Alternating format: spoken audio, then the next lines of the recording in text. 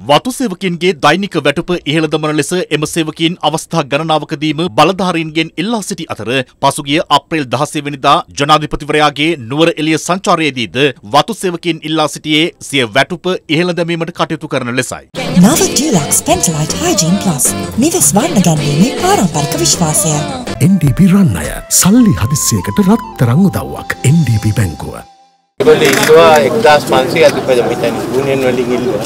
ඒකෙන් 1000ක් දෙන්න ඒගොල්ලෝ ලෑස්ති. ඉතින් මං අහන්නම් මොකක්ද උනේ කියලා.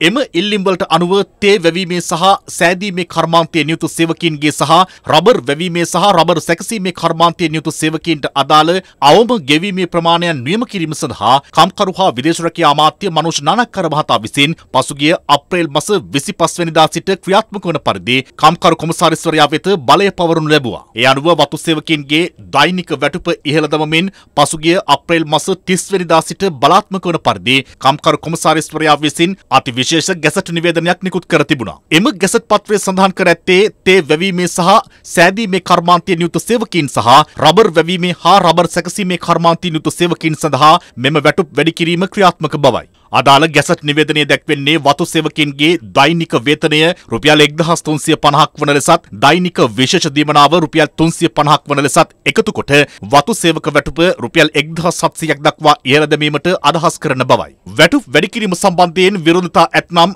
මැයි මාස 15 වෙනිදා දහවල් 12ට පෙර දන්වන ලෙසද කම්කරු කොමසාරිස්වරයා එම අති විශේෂ ගැසට් නිවේදනයෙන් වැඩිදුරටත් සඳහන් කර තිබෙනවා. ඊයේ ලංකා කම්කරු කොංග්‍රසය කොටගලදී සංවිධානය කළ මැයි දින රැළියට එක්වෙමින් ජනාධිපති රනිල් වික්‍රමසිංහ මහතා ප්‍රකාශ කළේ වතු සේවක දෛනික වැටුප රුපියල් 1700ක් දක්වා ඉහළ දැමූ බවයි. වතුකරේ ඊයේ රෑ මනුෂ නානකාර මැතිතුමා ආදායම වැඩි කරා දවසකට 1700කට වැඩි කරලා තියෙනවා.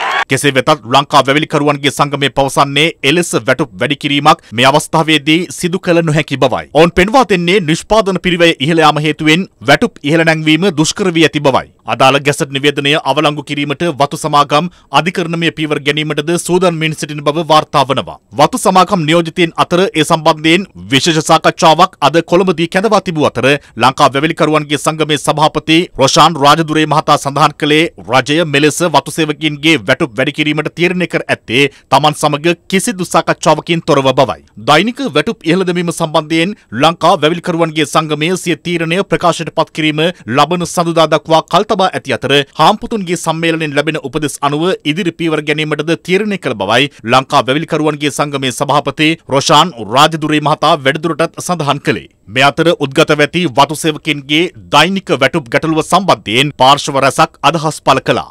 ව්‍යවසාය ප්‍රතිසංස්කරණය පළවෙනි වතාවේ වෙලා තියෙන අවුරුදු 30කට ආසන්න. හැබැයි අතුකම්කරුවාගේ ජීවන තත්ත්වය පිළිබඳ අපිට සෑහීමකට පත් වෙන්න පුළුවන්. ඒ නිසා තමයි ජනාධිපතිතුමා ඉතා පැහැදිලි සිදු තීරණයක් නායකත්වයට අරගෙන ඔවුන්ගේ වැටුප 10 සිට 1700ට වැඩි විය යුතුයි කියලා පැහැදිලි තීරණයක් ගත්තේ. ඒක මම දකිනවා වැවිලි ව්‍යවසාය ප්‍රතිසංස්කරණයේදී වුණත්. ඉතා වැදගත්. නඩුවට ගියොත් වෙලා මේක අවුරුදු දෙකමාර අදිනවා. ඒක නිසා අපිට සැකයක් තියෙනවා මේ කම්පනි මේ ආණ්ඩුවත් එකතු වෙලා මේක කුමන්ත්‍රණ කරනවා කියලා. මොකද ආණ්ඩුව කියලා ඇති වෘත්තීය සමිතිය අපිට ප්‍රෙස කරනවා. ඒකට ඉතින් ඡන්දෙත් එනවා. ඒකට මේක අපි කියලා ප්‍රකාශ කරනවා. අපි මම ප්‍රශ්න ඕගොල්ලන් කියලා බෑ කියලා නඩුවට යන්න කියලා කියලා ඇති. අපිට සැකයක් තියෙනවා. එතකොට මේක කම්කොට හම්බ වෙන්නේ නැහැ නේ. මම කියන්නේ මේ කුණ්ඩුවට මේ වෘත්තීය සමිතිය අවු වෙන්න එපා. තාවකාලික වශයෙන් මේ බඩි වැඩි කිරීම හොඳයි. කරගන්න ඉවර කරන්න ඒක. පටකත ඉවර කරන්න. ඉවර කරන්න ඉස්සර ඔන්න කරලා ඉවරයි කියලා කෑ ගන්න එපා. පදති ජාතනි බද්ද කරන්න එපා. මේ කිරිබත් කන්න යන්න එපා. සමහර උදවිය ඔයාලට ඇවිල්ලා එතන වේදිකාවට නැගිලා ඔන්න එද සත්‍යය මම දෙන්නම් කියලා කියලා අනිත් පැත්තෙන් වතු හමුන් සමග මම කියන විදිහට කියන්නම් ඕක නඩු දාන්නකෝ